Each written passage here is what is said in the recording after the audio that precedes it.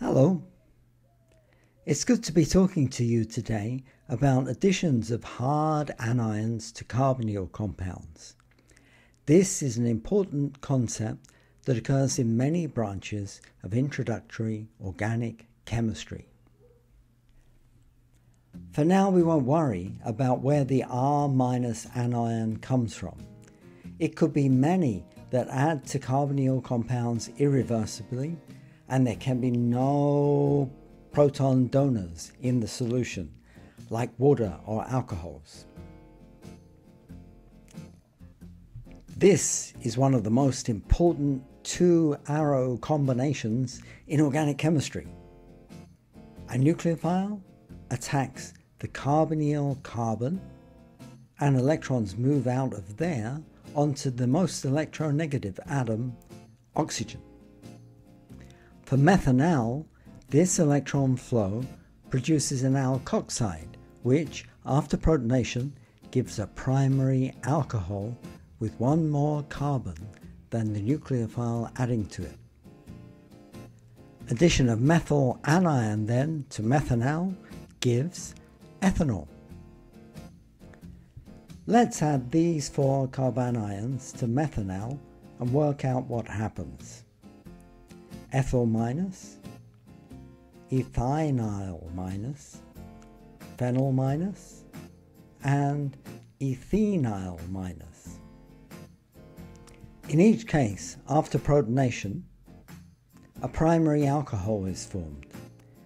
These have one more CH2OH group, that's hydroxymethylene, than the carbanions. Let's climb up one oxidation state to use an alkyl methanoate, that's an ester of methanoic acid, as the substrate. The carbanion adds to the ester carbonyl it's those two arrows again, but this time the electrons flow back, giving alkoxide. An aldehyde is produced. This is more reactive than the ester starting material, so another carbanion adds immediately. Addition of a proton source when the reaction is complete gives a secondary alcohol with one CHOH, that's hydroxymethine group, and two R fragments. Addition of methyl minus to ethyl methanoate gives ethanal intermediate and then 2 propanol.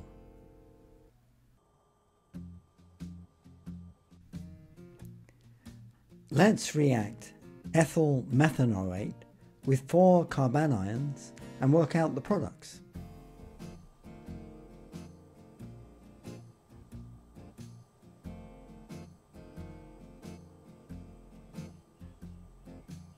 Secondary alcohols with two identical substituents are formed. Secondary alcohols are also formed when carbanions add to aldehydes, except not methanal. The two substituents can be different because one comes from the aldehyde and the other comes from the carbanion. Hang on a sec. Grab a piece of paper and dream up a couple of examples, all by yourself. Addition of R minus to a ketone gives tertiary alcohols. All three substituents can be different in these.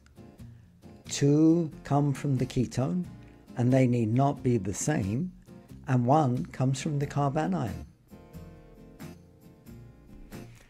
Here are a couple of examples. First, addition of ethyl minus to phenyl methyl ketone. Secondly, cyclopentyl anion adding to butanone.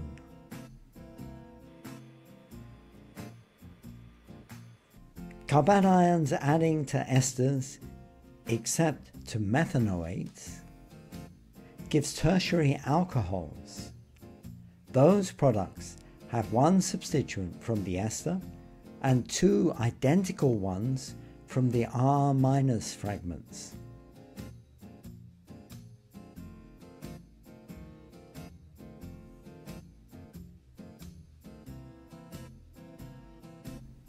Here's an example for you. It illustrates how abbreviating fragments can simplify diagrams. Here the aryl, AR, is 4-methoxybenzene. That's a general tip.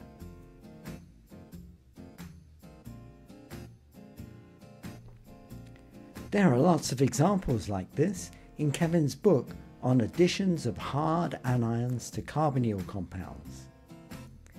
If you have any comments, please leave them below and I'll have a word with him when he gets back. Thanks very much for watching. Bye bye.